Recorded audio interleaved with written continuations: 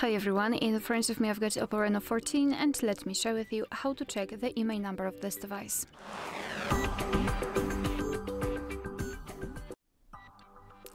So let's begin with the fastest way through the secret code. We have to open the dialer, tap on the keypad and enter the code which is asterisk pound 06 pound.